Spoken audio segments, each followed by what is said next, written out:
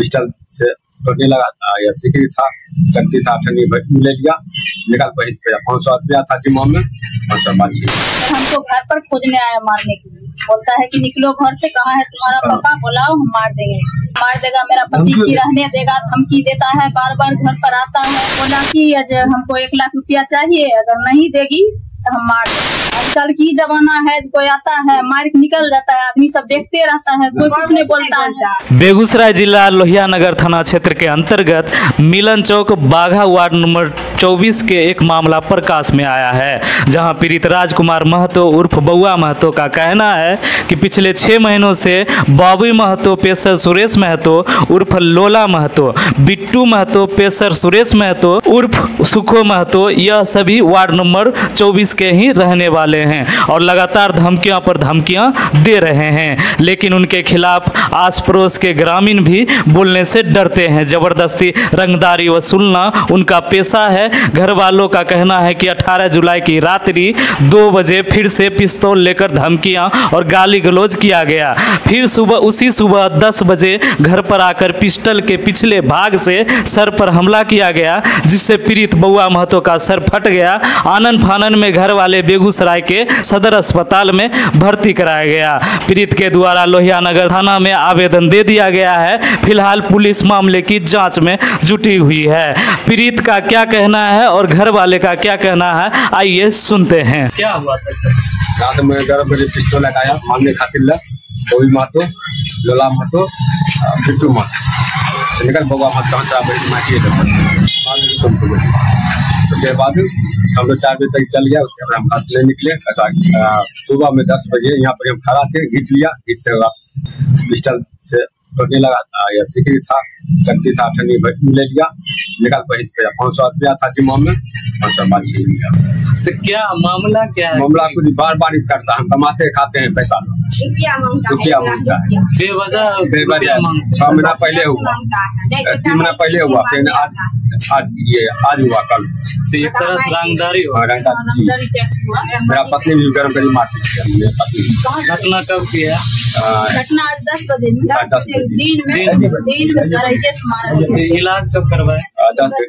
मारा उसका थाना गए। थाना गए थाना हम परिवार बोले जाइए।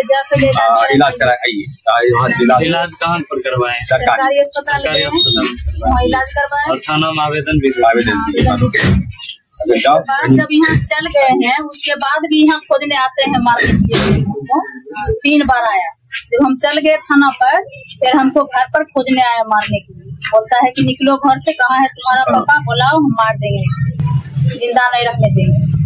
ऐसे करता है। तो आवेदन दिए थे थाना में तो थाना से कुछ आश्वासन मिला? हाँ आया था थाना यहाँ से आकर फिर गया। कि हम कार्रवाई कर रहे हैं। अच्छा तो आपको लगता है उम्मीद है कि उम्मीद तो लगाए हैं अब पता नहीं थाना प्रभारी जानेगा क्या करेगा मार देगा मेरा पति की रहने देगा धमकी देता है बार बार घर पर आता है मार खोजने के लिए। तो हम क्या करेंगे? चौबीस घंटा कैसे रखेंगे अपना पति के घर के अंदर? कहीं निकलेगा तो मार देंगे क्या करेंगे? कुछ कर सकते हैं? बेवजह कोई तो ऐसे नहीं करे पैसा मांगिएगा गरीब आदमी है तो कहाँ से लाख रुपया दे सकते हैं। बहुत बड़का रकम हो गया।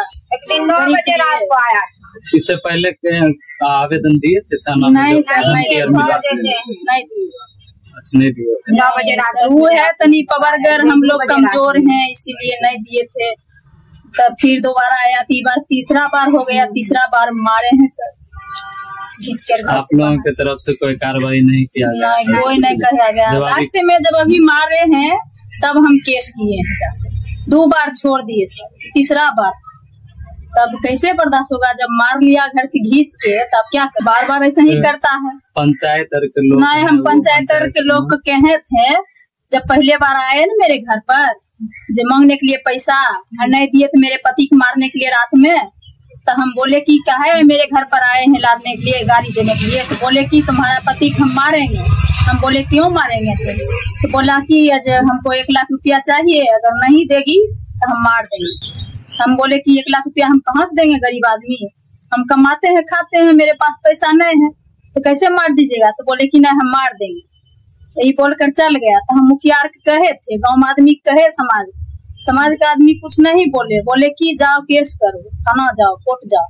तो हम क्या कर आजकल की जमाना है जो कोई आता है मार के निकल जाता है आदमी सब देखते रहता है कोई कुछ नहीं बोलता है। कोई बोलता है कोई नहीं बोलता है खाली देखता तमाशा देखेगा। लेकिन कोई छोड़ाने वाला नहीं रहता। है इस समय मार रहे थे मेरे पति को छोड़ाने वाला कोई नहीं था। अपना मन भर मार लिया मार के चल गया। चल गया। मार के दिन दोपहर इसी तरह गोली मार के निकल जाते। तो कोई कुछ करेगा? क्या नाम हुआ आपका? उषा देवी। आपका क्या नाम हुआ? बाबा मधु उर्फ़ राजकुमार। अच्छा बउआ महतो अच्छा, आप? बबलू मोतो